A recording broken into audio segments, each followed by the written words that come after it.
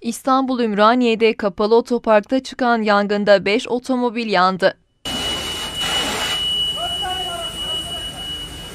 Çakmak Mahallesi Aşık Veysel Caddesi üzerinde bulunan bir binanın kapalı otoparkında bir otomobilde yangın çıktı. Alevler kısa sürede otopark içinde bulunan 4 araçta bir motosiklete sıçradı. Bölgeye giden itfaiye ekiplerinin müdahalesiyle yangının söndürülmesinin ardından soğutma çalışması yapılarak otoparktaki duman tahliye edildi. Yangın sonucu otoparkta bulunan bir polis aracıyla 4 otomobil ve bir motosiklet kullanılamaz hale geldi.